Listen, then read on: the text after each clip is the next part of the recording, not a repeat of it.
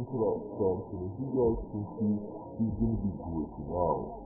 And when he crosses into the fence, you guys want him to stay there, and on your screen, it's going to glitch out, and the fence will close on him, and you want your friend to stay there and not move his car. On your screen, it's going to look like your friend's moving his car, but in all reality, he's actually not. He's just standing still, but on your screen, it's glitching out.